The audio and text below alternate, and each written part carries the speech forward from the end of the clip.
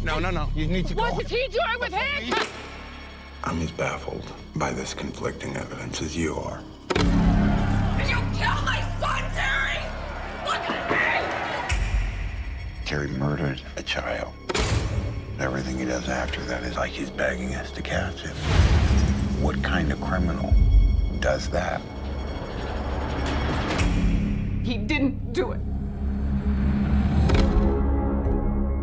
The evidence and the counter evidence. I'm struggling with that. Where are you going with all of this?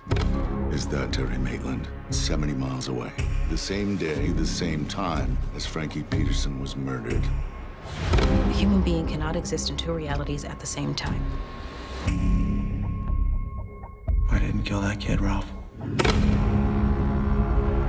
When the facts are filled with coincidences, don't dismiss those coincidences. I have no tolerance for the unexplainable. Well then, sir, you'll have no tolerance for me.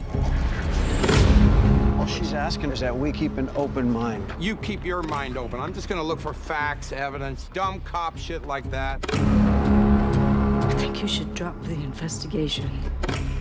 If you don't, I feel like something very bad is gonna happen. Something bad's already happened. Can't get yourself to really believe, then you're a danger to everyone else. When I was a kid, I didn't believe in anything. Not God, not the devil. But now I believe there's something else out there. It's worse than I ever imagined.